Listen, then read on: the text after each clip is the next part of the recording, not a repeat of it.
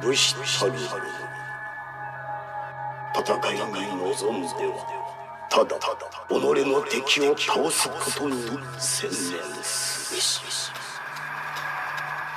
一切の喜怒哀楽さらに情けは無用なり邪魔だってするそれがたとえ神といえども仏といえどもこれを知る。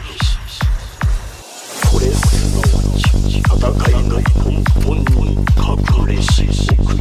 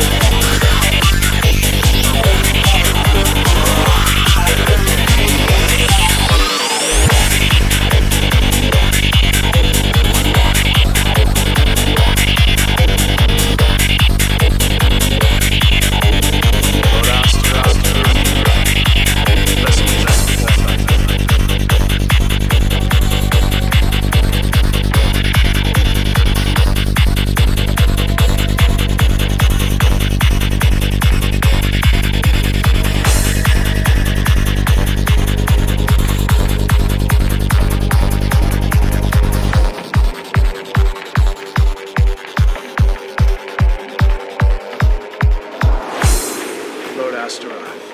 I deliver this vessel to you, commanded as you